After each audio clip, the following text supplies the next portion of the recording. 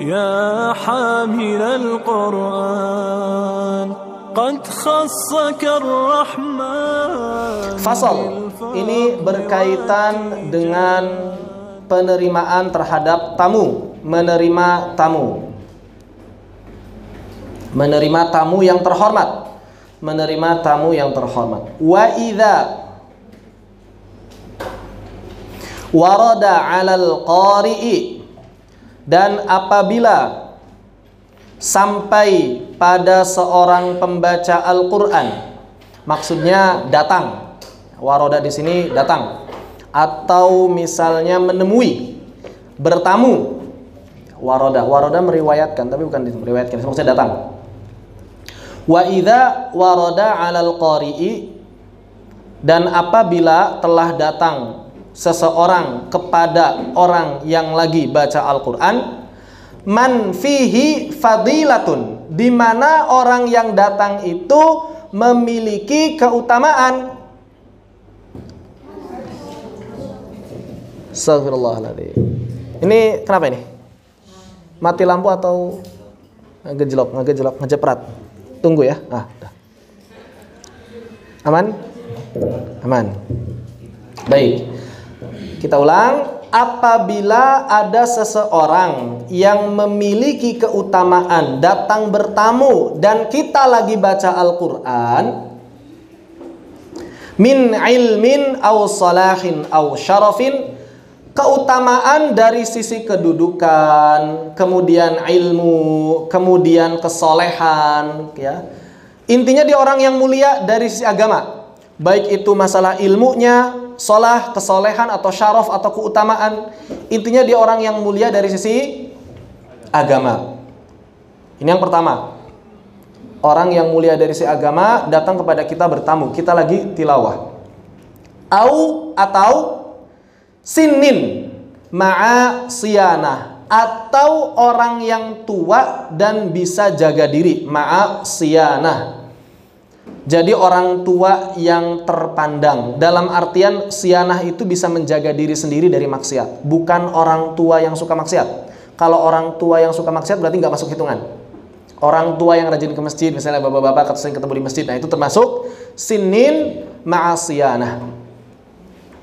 Jadi ini kasusnya adalah kita lagi baca Al-Quran ada orang yang memiliki keutamaan dalam agama atau orang tua yang terhormat atau au lahu hurmatun biwilayatin. Atau dia memiliki keutamaan dari sisi wilayah. Maksudnya apa? Hakim penguasa yang sah. Penguasa yang sah yang diakui oleh para ulama yang diterima oleh rakyatnya mau berupa RT, RW, camat, bupati, wali kota, presiden atau khilafah. Yang penting dia adalah penguasa yang sah yang diterima oleh agama para ulama dan juga rakyatnya. Au wiladah atau punya kehormatan dari sisi wiladah. Wiladah ini garis keturunan, kelahiran. Seperti apa? Seperti orang tua kita, paman bibi kita, kakek nenek kita, kakak-kakak kita, ya, seperti itu. Au hima atau selain itu semuanya, intinya orang yang kedudukannya di atas kita, baik di atas kitanya dari sisi agama atau dari sisi usia atau dari sisi wilayah dan wiladah. Maka apa yang mesti dilakukan? Fala ba'sa bil qiyami lahu. Maka tidak mengapa kita yang lagi baca Al-Qur'an itu berdiri menyambut mereka terlebih dahulu. Ini sunnah langsung diri. Ya kalau bertemu dengan orang yang dihormati. Disunahkan untuk ber berdiri ala sabilil ihtirami wal ikram dengan maksud menghormati dan memuliakan dengan maksud menghormati dan memuliakan dan ini bukan perkara yang diharamkan bukan haram bukan makruh bahkan bagian dari adab terhadap orang yang lebih tinggi kedudukannya. Ini ada sebagian orang yang mengira ini berlebihan katanya. Hulu, enggak ada hulu, bahkan mencium kaki saja masih diperbolehkan. Hadisnya ada. Nabi pernah dicium kakinya oleh orang yang baru masuk Islam dan Nabi tidak menolaknya. Kemudian para ulama mengatakan dari hadis tersebut adalah kebolehan mencium kaki orang yang kita hormati. Jadi jangankan cium tangan, berdiri, cium kaki saja masih diperbolehkan. Cuma kalau khawatir malah jadi berlebihan, jangan dilakukan begitu. Tapi hukum asalnya boleh. Hukum asalnya diperbolehkan. Jadi kalau mau e, mencium kaki orang tua itu sangat diperbolehkan. Misalnya udah lama di sini begitu ya. Mudik pulang ke rumah, cium kaki orang tua, bukan cuma cium tangannya saja. Cium kaki orang tua sebagai bentuk penghormatan dan pemuliaan. Begitu. Jadi kalau kita lagi tilawah untuk sekedar berdiri boleh tidak masalah. Yang penting begini, la liriyai wal i'zam, bukan dalam rangka ria atau mengagung-agungkan. Nah, ini enggak boleh. Jadi niat. Tergantung niatnya. Kalau misalnya kita berdiri gara-gara karena pengen di uh, memperlihatkan diri, wah ada presiden nih, saya diri ah siapa tahu nanti diangkat jadi menteri. Nah itu nggak boleh, itu tidak diperbolehkan. Bahkan justru kalau ada yang seperti itu, kita jangan berdiri. Kenapa nggak berdiri? Karena saya khawatir ketika saya berdiri nanti untuk dunia nih bukan untuk akhirat, begitu. Ya. Seperti itu. Bal dzalika mustahabbun. Bahkan kalau niatnya baik karena agama mustahab, itu disunahkan. Kata Al Imam An Nawawi, bukan saya yang bilang, tapi Al Imam An Nawawi. Ya. Wa qad thabatal qiyamu lil ikrami dan telah sabat. Kalau ada perkataan sabata berarti telah ada hadis yang sahih. Telah pasti istilahnya, telah kokoh sabata itu pasti dan kokoh. Jadi hadisnya sudah pasti, sudah kokoh.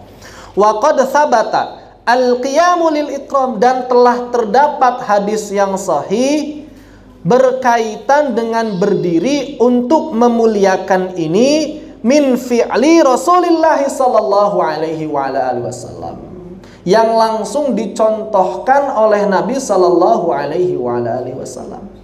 Juga wa fi'li ashabihi radhiyallahu anhum. Juga dicontohkan langsung oleh seluruh sahabat radhiyallahu anhum. Bihadratihi wa bi amrihi. Kapan? Ketika ada Nabi Shallallahu alaihi wasallam maka para sahabat berdiri. Wa bi amrihi bahkan Nabi pernah memerintahkan para sahabat berdiri saat datang orang yang mulia. Begitu. Wa min fi'lit tabi'ina wa man ba'dahum dan juga diamalkan oleh para tabi'in wa man ba'dahum dan juga oleh ulama setelahnya minal ulama iwas salihin. Dari kalangan para ulama dan juga orang-orang soleh. Nah ini Al Imam An Nawawi ingin menegaskan dalam e, kalimat ini bahwa yang namanya berdiri itu sunnah. Sunnah menurut siapa? Menurut Nabi menurut sahabat, menurut tabi'in dan juga para ulama setelahnya. Nah, berarti kalau ada yang mengatakan bukan sunnah, tidak mengikuti ini semuanya. Ya, kenapa Nabi memerintahkan, sahabat melakukan, tabi'in melakukan, para ulama juga melakukan. Terus tiba-tiba ada orang yang mengatakan ini bukan sunnah. Ikut siapa itu? Ya kan? Aneh berarti pendapat yang baru. Dan sekali lagi, memang banyak pendapat-pendapat yang baru seperti itu pendapat-pendapat baru yang tidak datang dari para ulama salafun salih. Waqad jama'tu juz'an fil qiyami. Bahkan Al-Imam An-Nawawi bisa jadi di zaman Imam An-Nawawi sudah banyak orang yang melarang nih, bisa jadi. Makanya Imam An-Nawawi tegas di sini. Sudah mulai ada orang-orang yang melarang berdiri, yang melarang menghormati orang lain secara berlebihan dan dianggap bukan sunnah.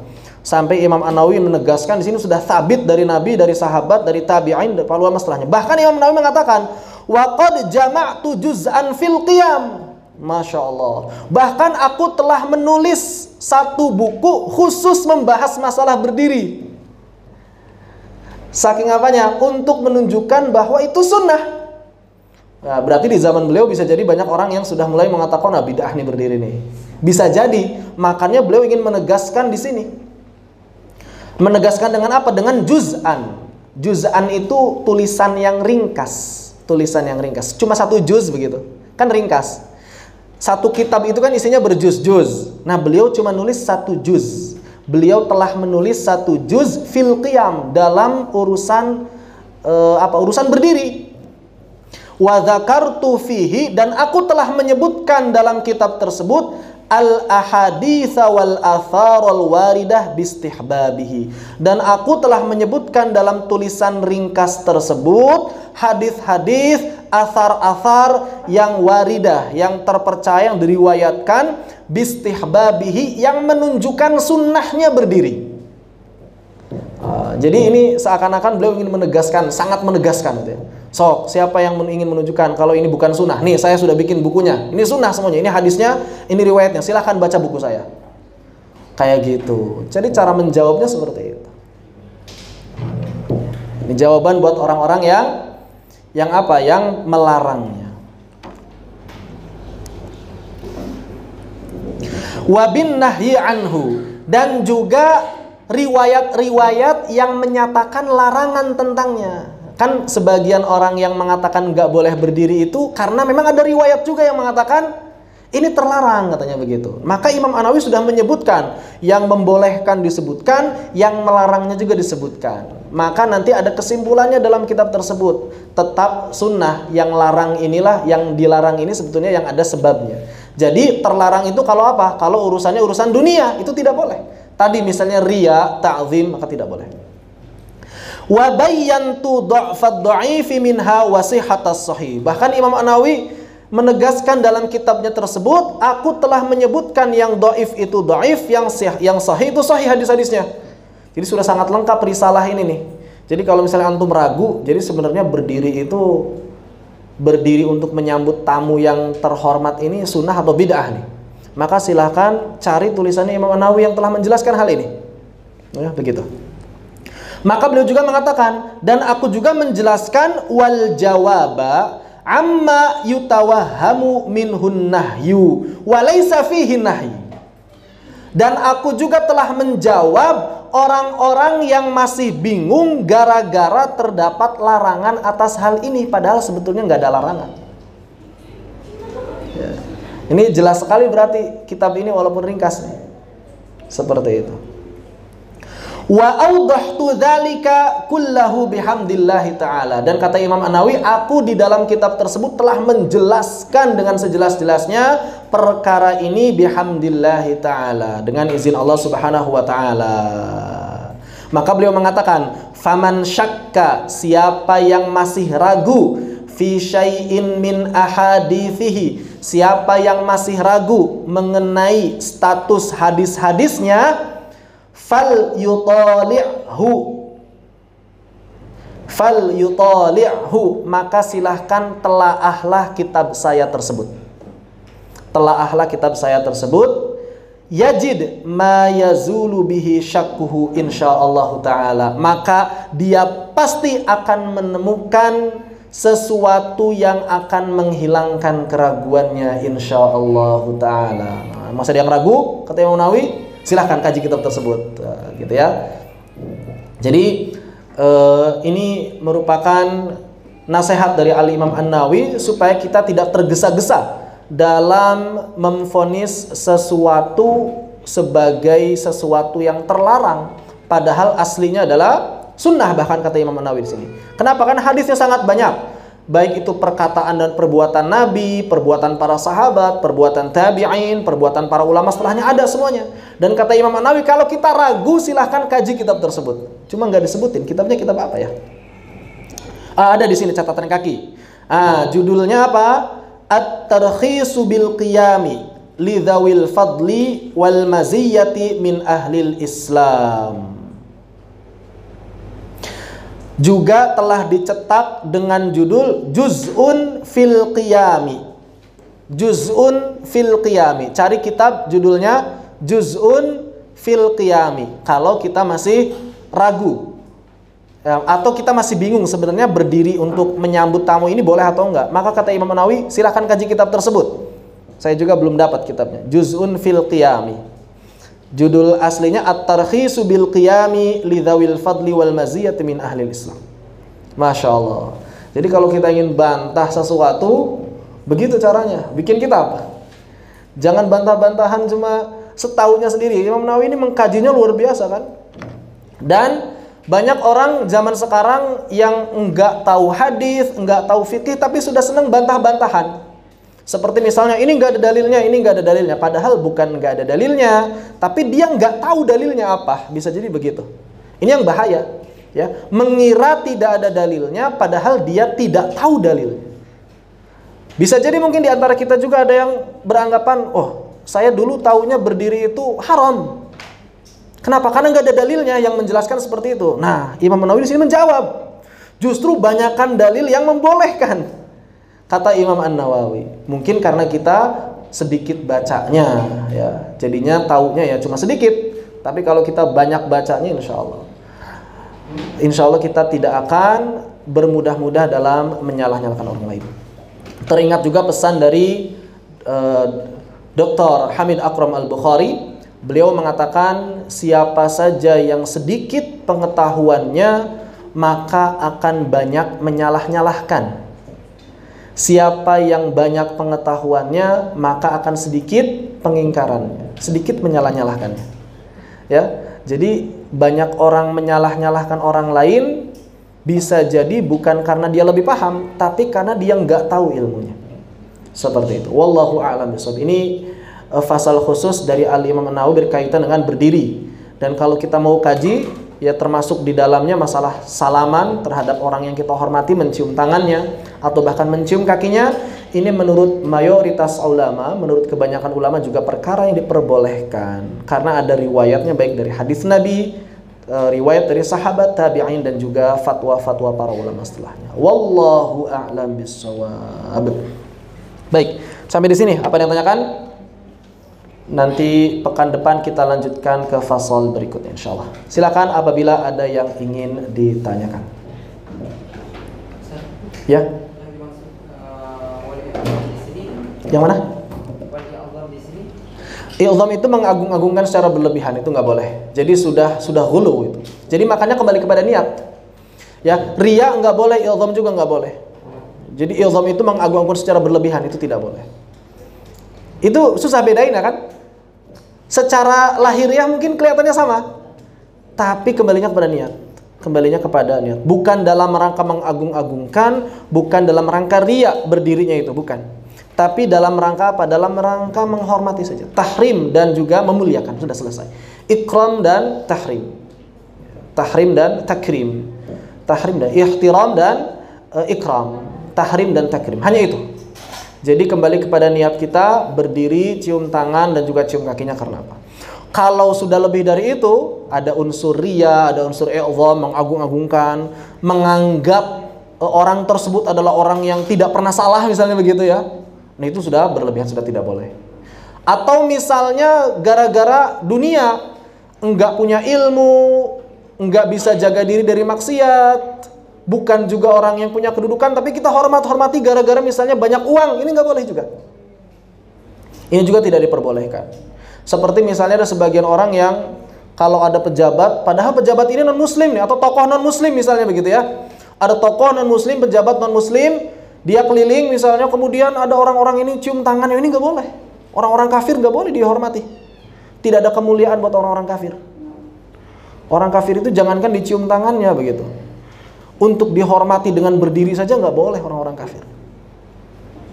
Tapi kalau orang-orang Islam, orang-orang tua, ya orang-orang yang punya kedudukan dalam agama maka diperbolehkan. Seperti itu. Wallahu a'lam. Gitu Ustaz. Ada lagi tanyakan? Tidak ada? Baik, mudah-mudahan apa yang disampaikan ini walaupun sedikit bisa bermanfaat dalam kehidupan kita sehari-hari. Dan semoga Allah Subhanahu wa taala menjadikan kita termasuk ke dalam golongan orang-orang yang cinta terhadap Al-Qur'an dan bisa mengamalkan Al-Qur'an serta adab-adabnya. Amin ya rabbal alamin. Kita akhiri. Subhanakallahumma bihamdika asyhadu an la ilaha illa anta astaghfiruka wa atubu alaikum warahmatullahi wabarakatuh قد خصك الرحمن.